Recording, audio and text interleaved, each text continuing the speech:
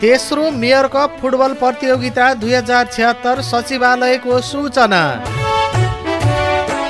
सुनवल नगरपालिका तेस्रो स्थापना दिवसको अवसरमा यही फागुन सोह्र गतेदेखि छब्बिस गतेसम्म सञ्चालन हुन गइरहेको तेस्रो मेयर कप फुटबल प्रतियोगिताको लागि सुनवल नगरपालिकाका तेह्रवटै वडाका खेलाडीहरूलाई आफ्नो टिम सहित यही फागुन चौध गते चार बजेसम्म राइजिङ स्टार सामुदायिक विकास प्रतिष्ठानको कार्यालय सुनवल बाह्र भूमैमा सम्बन्धित वडा कार्यालयको सिफारिस सहित टिम दर्ता गराउनु हुन सादर अनुरोध गर्दछौ।